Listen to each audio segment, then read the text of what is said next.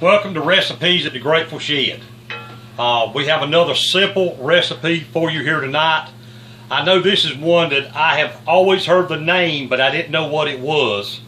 Uh, Woodrow and I were talking recipes a couple of days ago, and he mentioned to me that his mother fixed him gruel, uh, and I didn't know what it was. And he explained it, and he has fixed this tonight, and I'm gonna kind of let him take the video here and explain it, uh, what it is. Okay, what we've got here is gruel. Uh, it goes back to the 18th century when they were trying to figure out a way, a cheaper way to feed the inmates that they had in prison, and also to feed the orphans when they were short on things to eat. Please, sir, can I have some more? Okay, Oliver. Don't need it all at one time. Uh, and then my mother, in the 1940s, when food was rationed, and we had a family of eight that my mother had to keep fed, she made gruel for breakfast. It was a cornmeal gravy that you poured over biscuits.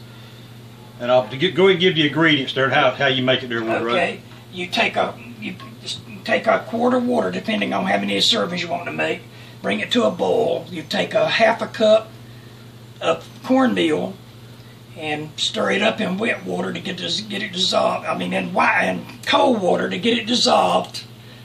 Then you put it into boiling water and you season it to taste. In this, I've got salt and pepper, a little bacon grease, and some bacon bits.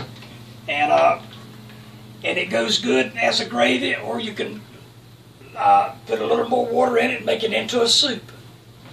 Well, that's good, Woodrow. And just know we're going to post this recipe in the comments down below the video. But I want to try some of this on that on that piece of chicken right there.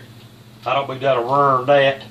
Uh, but that, I just I just can't get over how creamy that cornmeal is and a gravy. I didn't know that. Let me just see how this is here.